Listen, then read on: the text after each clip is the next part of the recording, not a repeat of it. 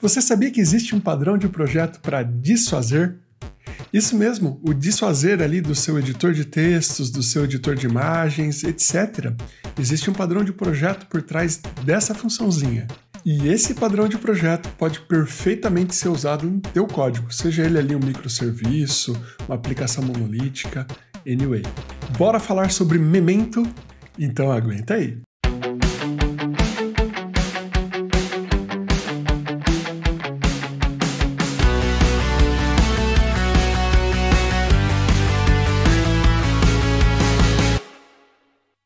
Fala pessoal, Pisani Dark na área. Quer mais conteúdo sobre padrões de projeto? Então se inscreve no nosso canal. Eu tô falando para você, você vai ficar fera em arquitetura. Vem comigo. Memento. Esse é um padrão de projeto é, da categoria comportamental, ok? Então ele resolve aspectos de como os objetos se relacionam entre si, de comportamento de objetos. E nesse caso em específico, é, ele trata de como você voltar para o estado anterior. Né? Uma vez que você percorreu alguns estados, você pode ir voltando para os estados anteriores.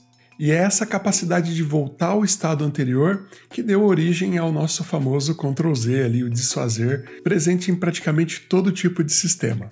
Qual é o problema desse padrão? É que cada coisa que você faz, você vai colocando uma cópia dele em uma instância, tá? Vai ficando ali uma instância em memória de cada coisa que você vai fazendo.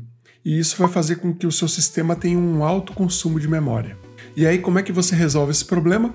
Com outros padrões de projeto, como o Flyweight, por exemplo. Eu vou explicar um pouquinho melhor esse padrão no diagrama. Vamos lá. Então, aprendendo a ler o diagrama, nós temos aqui primeiro o originador, tá?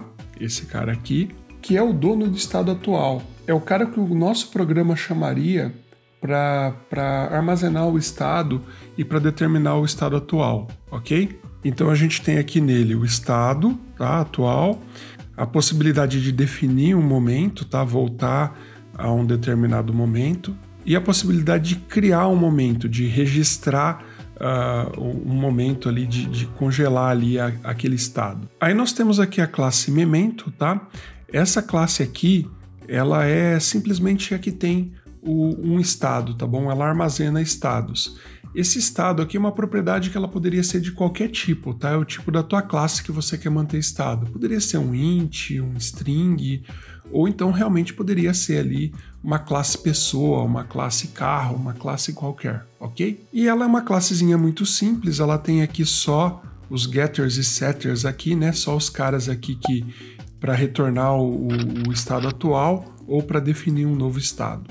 E aí, por fim, a gente tem aqui uma classe zeladora, né? A caretaker aqui, percebe que ela é, é uma agregação direta aqui à, à minha classe memento, tá?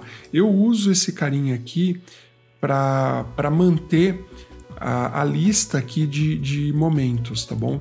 Então eu crio nele uma listinha, uma propriedade aqui de lista, é, onde eu tenho todos os meus, os meus momentos. E nesse caso, com uma listinha, eu posso facilmente voltar a um estado, dois, três, né? Ou ir para o primeiro. Então eu consigo é, viajar muito fácil nos estados. Agora, se por acaso eu quisesse é, simplesmente uma função de desfazer da função anterior direta, eu criaria aqui nesse cara uma propriedadezinha do tipo caretaker mesmo, né, do tipo zelador mesmo, é, onde eu tenho ali o meu estado anterior e uma outra propriedade que estaria aqui embaixo, que seria do tipo memento, tá bom? Essa me daria o estado atual. E aí aqui no meu originador eu usaria a minha classe zeladora e não diretamente o memento, porque eu já conseguiria controlar nela mesmo o estado atual, tá bom? Eu não iria precisar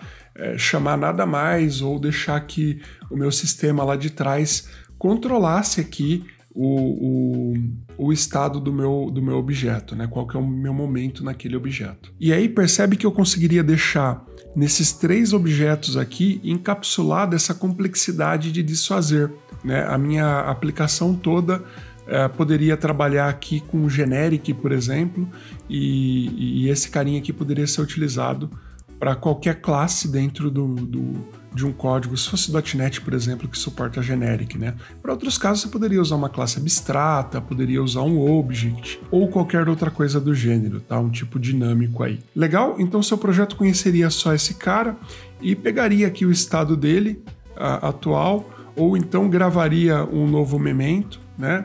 Ou então poderia ter métodos aqui, né, em vez desse set memento, eu pelo menos uso desse jeito, tá?